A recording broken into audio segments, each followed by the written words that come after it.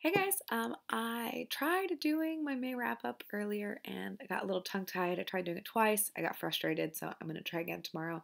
Um, and then hopefully the day after that on Sunday, I will finally do my giveaway.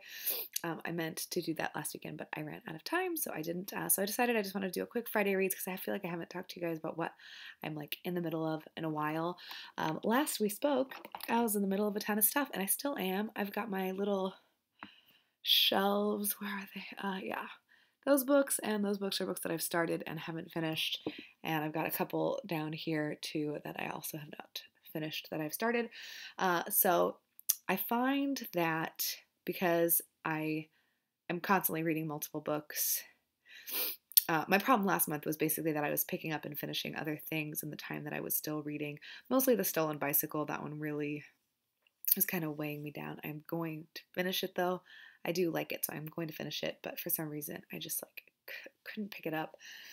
Uh, so what I'm going to do is I want to be reading new things, so I've decided that I'm going to be trying to read, you know, certain things. So I would like to be focused on a large book. So currently I am trying to work on The Stand by Stephen King. And then when I'm done with The Stand, I've got Les Mis waiting for me right here. Uh, but I would really like to finish this by the end of the month. I am almost just about halfway, and it's mass market. I've got like 700 pages.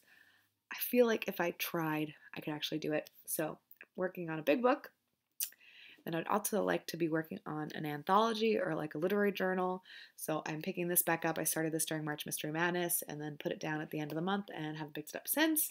So, you know, stories ideally one a day. Probably not going to happen. Maybe one every other day. That would be nice. And then uh, the book that I am like still working on is out. I am now about halfway through, um, and it is so good.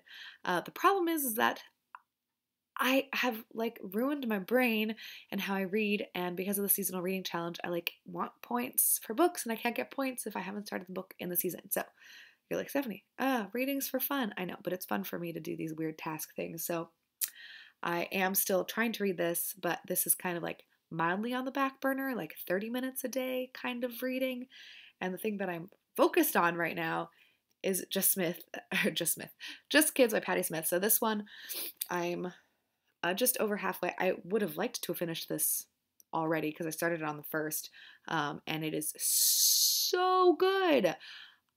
I was really nervous to read this because everyone loves it. I don't listen to Patti Smith and I don't know who Robert Mapplethorpe is. And so I was like, does this book apply? Is it relevant to me? And you know what? Yeah, it's really, really good. So um, I listened to her first album when I like started reading it. Um, but yeah, I am 100%. I might not finish this tonight because uh, it's kind of late. It's almost 10. Uh, but I'm 100% finishing this tomorrow. So once I finish this book, I am going to start two more books. Uh, yeah, I know. Uh, I am going to be starting a buddy read of the fifth season by N.K. Jemisin with Doris. I almost said Dora. It's because I've got another book called Dora that I'm trying to read. Uh, Doris from Aldi Books. Um, so we're just going to be reading a chapter a day. So that's why I'm like, I want I want to be you know like really actively reading kind of one thing. And so I feel like all these these things that I've showed the stand um, out and the anthology and then this one is like a little bit kind of each day not something that i'm like really really focused on. So when i'm done with just kids i'm gonna pick up the man who mistook his wife for a hat by oliver sacks. Um, i'm really really excited. I just read the uh, like in intro intro kind of and then I just read the first paragraph of the introduction to the first section called losses and I'm like so excited and geeked out right now. Um, I am a nurse and I'm very and and I have a bachelor's degree in psychology and a bachelor's degree in nursing so I'm into this 100%.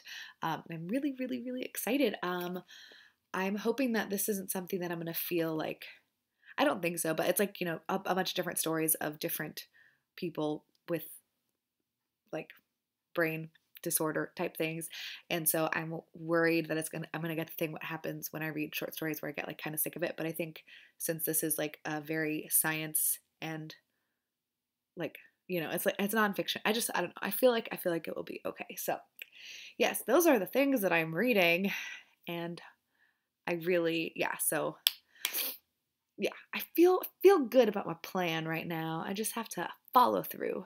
That's the problem is the follow through. So, um, anyways, uh, I hope everyone is having a great time. Hopefully tomorrow when I get home from work, I can watch everyone else's Friday reads. I can see what everyone else is doing. Because again, I got behind. I'm like a week and a half behind on freaking booktube videos again. So yes, let me know if you're reading anything exciting, if you've read any of these books, if you have anything to say to me.